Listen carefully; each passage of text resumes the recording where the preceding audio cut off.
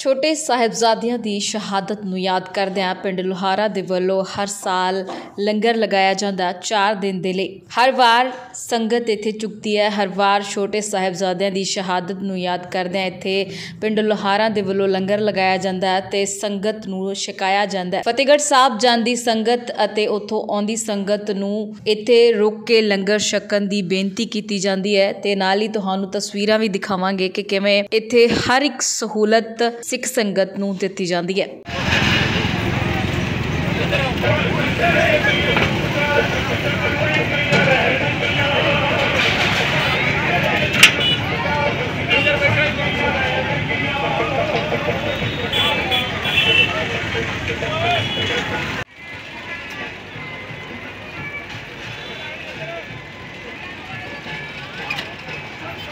ਛੋਟੇ ਸਾਹਿਬਜ਼ਾਦਿਆਂ ਦੀ ਸ਼ਹਾਦਤ ਨੂੰ ਯਾਦ ਕਰਦੇ ਆ ਜਿੱਥੇ ਹਰ ਅੱਖ ਨਮ ਹੋ ਜਾਂਦੀ ਹੈ, ਉੱਥੇ ਹੀ ਸਾਡੇ ਪੰਜਾਬੀਆਂ ਦੇ ਦਿਲ ਦੇ ਵਿੱਚ ਦਰਦ ਅਤੇ ਚੀਸ ਵੀ ਉੱਠਦੀ ਹੈ। ਤੇ ਨਾਲ ਹੀ ਨਾਲ ਇਸ ਨੂੰ ਬਰਕਰਾਰ ਰੱਖਣ ਦੇ ਲਈ ਅਤੇ ਨਾਲ ਹੀ ਇਹਨਾਂ ਦੀ ਸ਼ਹਾਦਤ ਨੂੰ ਯਾਦ ਰੱਖਣ ਦੇ ਲਈ ਹਰ ਵਾਰ ਸਿੱਖ ਸੰਗਤ ਦੇ ਵੱਲੋਂ, ਪੰਜਾਬੀਆਂ ਦੇ ਵੱਲੋਂ ਇਹ ਉਪਰਾਲੇ ਕੀਤੇ ਜਾਂਦੇ ਨੇ, ਸਮਾਗਮ ਕੀਤੇ ਜਾਂਦੇ ਨੇ ਅਤੇ ਇਸ ਤਰ੍ਹਾਂ ਲੰਗਰ ਵੀ ਵਰਤਾਏ ਜਾਂਦੇ ਨੇ, ਜੋ ਅਟੁੱਟ ਵਰਤਦੇ ਨੇ ਤੇ ਨਾਲ ਹੀ ਤਸਵੀਰਾਂ ਤੁਹਾਨੂੰ ਇੱਕ ਵਾਰੀ ਫਿਰ ਦਿਖਾਵਾਂਗੇ ਕਿ ਕਿਵੇਂ ਪਿੰਡ ਲੋਹਾਰਾ ਦੇ ਵੱਲੋਂ ਇਹ ਲੰਗਰ ਲਗਾਇਆ ਗਿਆ ਤੇ ਛੋਟੇ ਸਾਹਿਬਜ਼ਾਦਿਆਂ ਦੀ ਸ਼ਹਾਦਤ ਨੂੰ ਯਾਦ ਕੀਤਾ ਗਿਆ।